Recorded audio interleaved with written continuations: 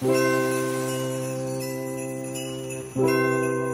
and happy holidays. This is my favorite time of the year, and this year feels extra special. I am so excited to see the celebrations and fun events returning to our communities as we enjoy this most wonderful time of the year. There is so much going on, and I love to feel the hustle and bustle again.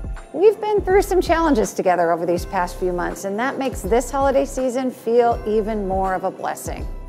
We've overcome so much, and looking back at where we've been reminds me that there is so much to celebrate.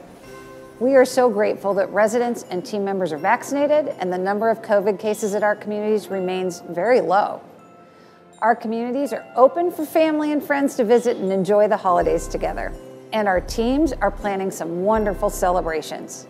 And unlike last year, residents are now out and about, enjoying the season and cherishing moments with the ones that they love. One of my favorite quotes is from Michael J. Fox. He says, Family is not an important thing, it's everything.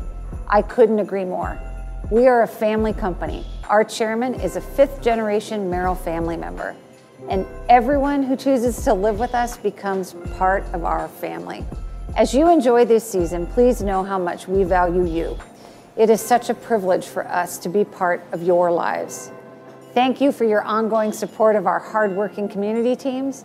And most of all, thank you for being such an important part of the Merrill family.